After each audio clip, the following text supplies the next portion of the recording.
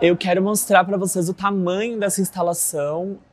Tem 1,82m e a instalação é realmente muito grande.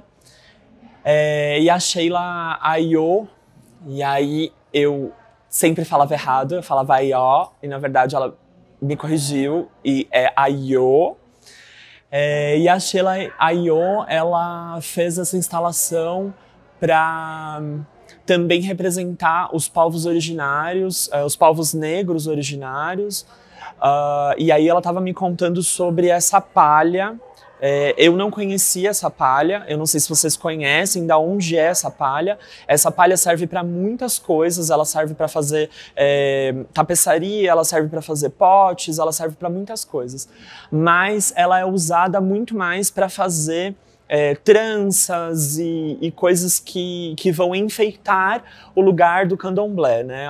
o lugar onde eles habitam ali uh, da, dessa, dessa estrutura toda e, e como que ela usa esse, essa palha. E aí ela me contou, eu não sabia, uh, não sei se vocês sabem também, mas ela me contou que essa palha, ela é a palha do, do da árvore do dendê e ela estava me explicando que essa ideia de trazer essa palha do dendê, da árvore do dendê, é, aquela que faz o azeite, essa mesma, e ela trouxe essa palha para representar é, essa cultura, a cultura negra, a cultura, a, a ideia de, de que o corpo está habitando um lugar.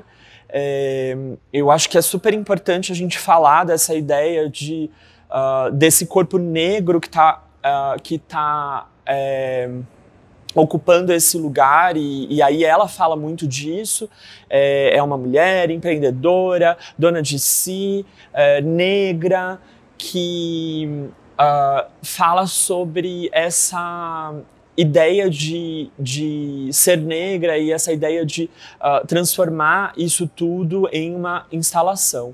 E aqui é, e aqui você pode ver que, que ela fez esses desenhos todos para para simbolizar essas tatuagens e essa é, esses um, essas é, essas menções, né? Ela diz que esse negócio branco, né? Esse pó branco que ela usa é, é, feito de uma pedra e eles raspam essa pedra.